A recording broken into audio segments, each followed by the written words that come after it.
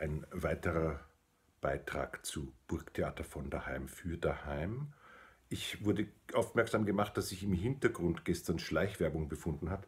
Ähm, die mache ich heute nochmal ein bisschen deutlicher. Dieses Bändchen, dieses lustige Taschenbuch wurde von Helmut Emmersberger ins Wienerische übertragen und ist ganz fantastisch und äh, auch jetzt oder nächste Woche wieder in den Trafiken erhältlich. Es war nämlich schon ausverkauft.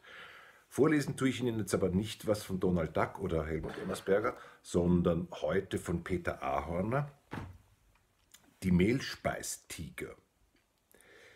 Die Schnabuliersucht der Wiener wird durch animalische Wesen verbreitet, nämlich Zimtschnecke und Mehlspeistiger.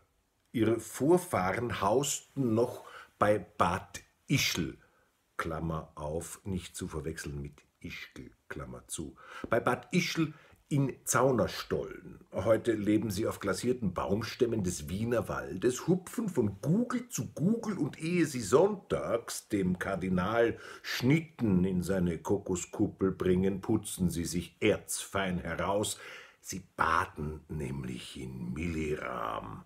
Dann ist alles sehr festlich und das weiße Zimtschneckenoberhaupt mit seinem Reichsapfel im Schlafrock drückt dann schon ein Linzer Aug zu, wenn ein batschertes Mehlspeistigerl nichts gelernt hat, es etwa gewagt hat, eine Sacharintorte zu fabrizieren und daher im Pflichtgegenstand geheimste Backkunde einen Zwetschgenfleck verdienen würde. Die alten Mehlspeistiger können aber auch sehr rigoros sein.